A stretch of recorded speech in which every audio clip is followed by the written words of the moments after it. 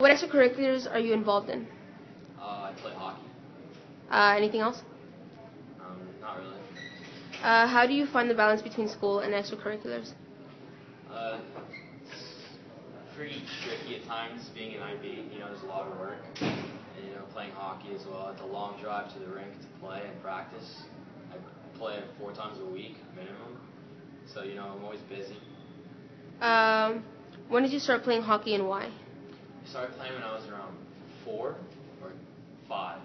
Um, my dad took me to the rink for a father and son session, is what they called it. And since then, I love the game. Uh, what made you take such a liking to the sport, and what role does it play in your life? Oh, it plays a big role in my life for sure. I mean, I want to, like really go far in it. I've had friends and teammates that, you know, are playing on Team USA and stuff now, and they're really good. Yeah. Um, besides hockey, what other hobbies do you do? I like to sleep, I guess.